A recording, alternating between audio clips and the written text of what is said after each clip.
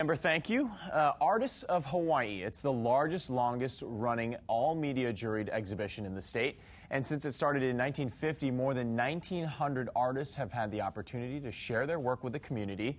But this year is especially important for the exhibit. It's the 59th year anniversary. And joining us now with more on this year's showcase is Stephan Jost. He's the new director of the Academy of Arts, of, of Arts, Artists of Hawaii's 59th anniversary.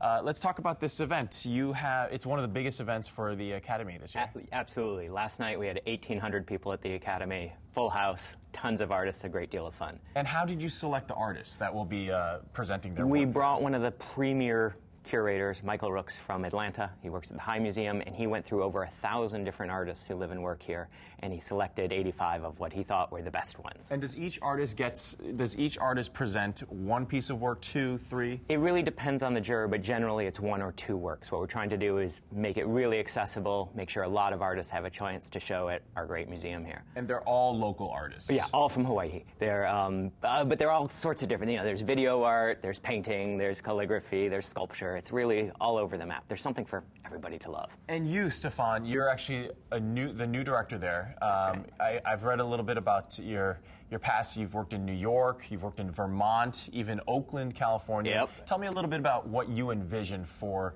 the uh, the academy. Well, the Honolulu Academy is really a museum, a school, and a theater, and um, it's extraordinary, exciting time for the institution because the, it's merging with the Contemporary Museum, and I think we've got a really great opportunity to serve our public here better. I hope to be extraordinarily um, accessible and have the museum be visited by lots and lots of people. and why did you choose uh, to come here? Um, more than the weather, actually. It was. I mean, the collections are amazing. We have Van Gogh and Monet, and the curators and the staff are really great. And then we've got all these wonderful tourists. So um, I really thought it was a, an institution that, that could really thrive in the years to come. And recently, you were at the in Vermont, working Yes. at a museum there. What do you hope to bring from your experience there to here?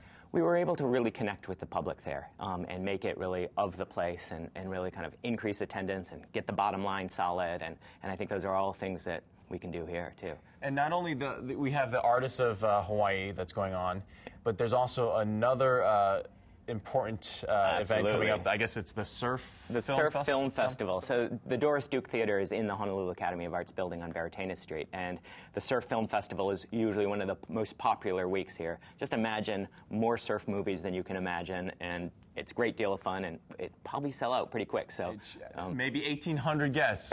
we'll, do, we'll do fine on that one. I mean, right. surfing, Hawaii, people like to go. Stephan Jost, the new director of the Academy of Arts. Thanks for joining us here this Thank you very much. And for more on the dates and times of the exhibit or to learn more about each of the featured artists, you can head over to the As Seen On section of KITV.com on our website. And you can also go to the Academy and check out the art. to see you there.